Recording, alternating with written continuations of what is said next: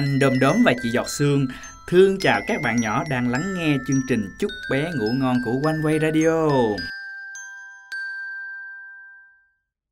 Các bạn nhỏ ơi, rất lâu rồi anh Đom Đóm và chị Giọt Sương mới được gặp lại các bạn. Các bạn có khỏe không? Các bạn có nhớ chương trình Chúc bé ngủ ngon, nhớ anh Đom Đóm, nhớ chị Giọt Sương không nè?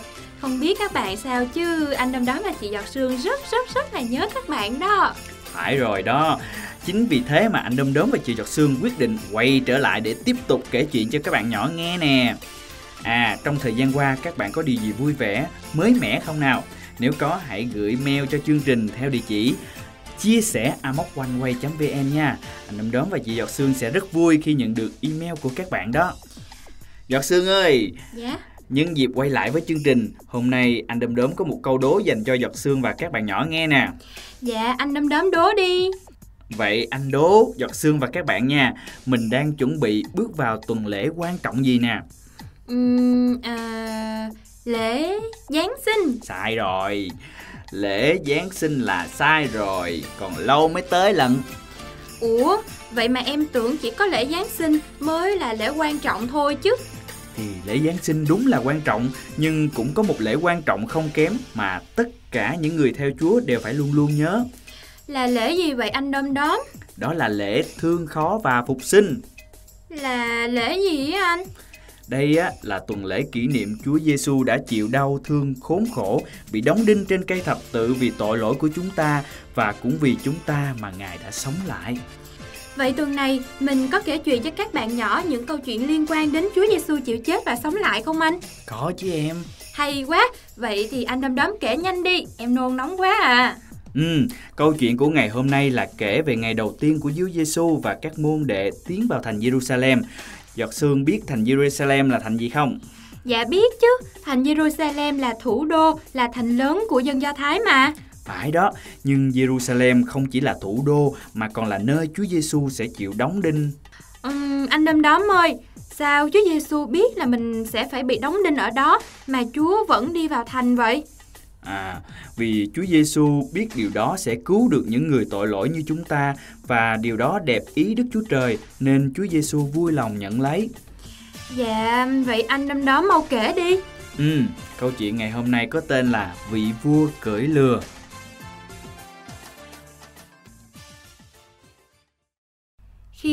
Giêsu cùng các môn đồ vào làng Bethphage trên sườn núi Olive gần thành Jerusalem, Ngài sai hai môn đồ đi trước và dặn: Các con vào làng trước mặt sẽ thấy một con lừa mẹ bị cột bên cạnh con lừa con.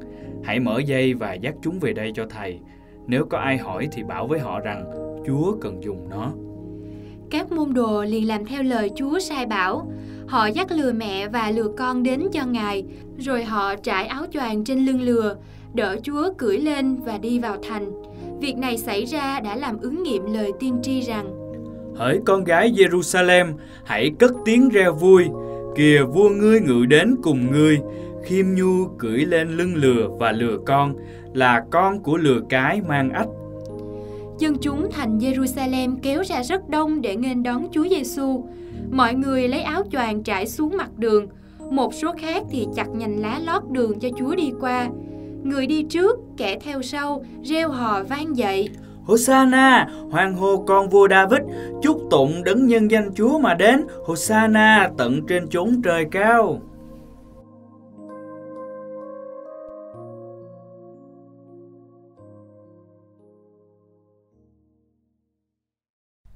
Hosanna, Hosanna, Hosanna ca người vua hiến vinh. Hosanna, Hosanna, Hosanna ca người vua hiến vinh. Wow, giọt sương hát hay quá ta, giờ anh mới biết đó nha. Ừm, thì bài hát này bắt nguồn từ câu chuyện này đây. Mà anh Đom Đóm ơi, em muốn hỏi anh một chút. Ừ, giọt sương hỏi đi. Tại sao người ta tung hô Chúa như vậy rồi cuối cùng lại đóng đinh Chúa Giêsu trên thập tự giá? Giọt sương biết không, một số người biết Chúa Giêsu có quyền phép nên họ ngưỡng mộ và xem Ngài như một vị tiên tri hay một vị anh hùng đức tin nào đó. Cũng có người nghĩ Chúa Giêsu sẽ trở thành vua để cứu dân Do Thái ra khỏi sự khổ sở bị cai trị của quan La Mã lúc bấy giờ.